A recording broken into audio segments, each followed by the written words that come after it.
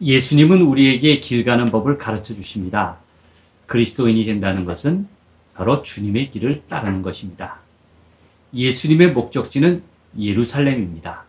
예수님과 주님을 따르는 제자들은 예루살렘을 향해 두려움은 커녕 새로운 출애굽을 향해 행동으로 옮기고 있습니다. 누가복음 13장 32절은 이렇게 말하고 있습니다. 오늘과 내일은 내가 귀신을 쫓아내며 병을 고치다가 제3일에는 완전하여 지리라 하라.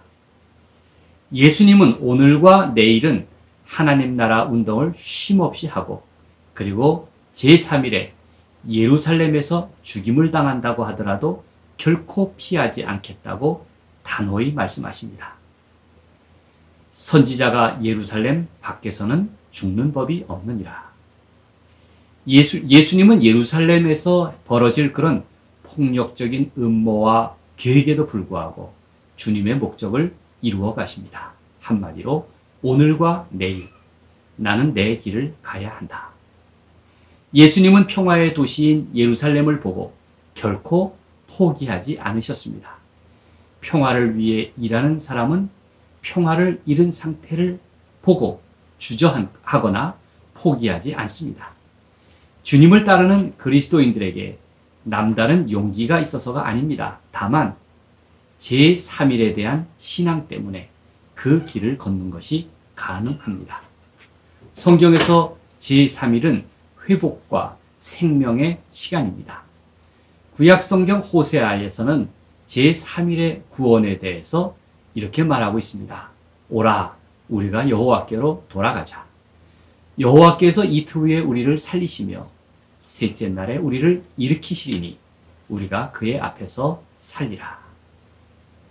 셋째 날, 곧 제3일은 모든 것이 회복되는 부활의 시간입니다. 그리스도인은 예수님과 함께 길을 가는 사람들입니다. 내가 길이요, 진리요, 생명이라고 말씀하시는 그 주님과 함께 길을 찾고 또 길을 따라갑니다. 우리 주님은 늘 나를 격려해 주시고 등을 두드려 주시며 손잡아 주십니다. 그리고 제3일의 기적이라는 꿈을 주셨습니다. 지금 내 믿음의 길은 어떻습니까?